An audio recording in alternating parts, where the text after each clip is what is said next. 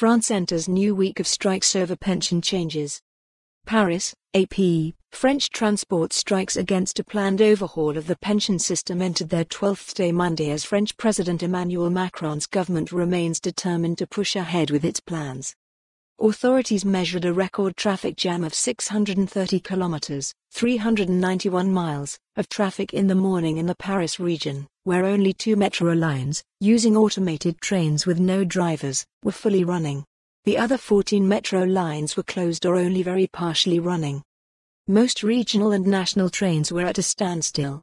International train routes also suffered disruptions. Truck drivers launched a separate protest movement Monday morning, staging road blockages across France to demand better salaries and working conditions. Macron said last week he wants the government to continue the work on the pension changes, which include raising the retirement age to 64 and ending special privileges for some workers. Major unions want to push the strike through Christmas as a new round of protests across France was planned Tuesday. The strikes involve mostly public sector workers, including train drivers, teachers, and hospital employees, who fear they will have to work longer for lower pensions. For more on this story, visit the news article link.